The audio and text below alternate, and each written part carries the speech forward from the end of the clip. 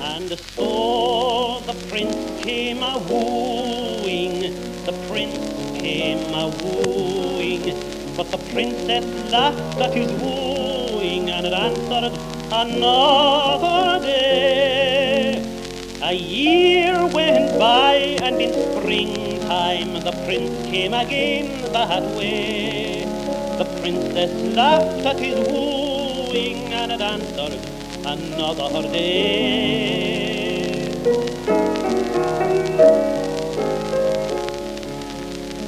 The princess laughed at his wooing, but the prince came no more that way. The years went by, and the winters turned her golden So in a far, far country they lived for many a day. And what was the end of their story? There's nobody now can say. Who was the princess? Why you were, and there's no more to be said. The clock is striking eleven, and children should be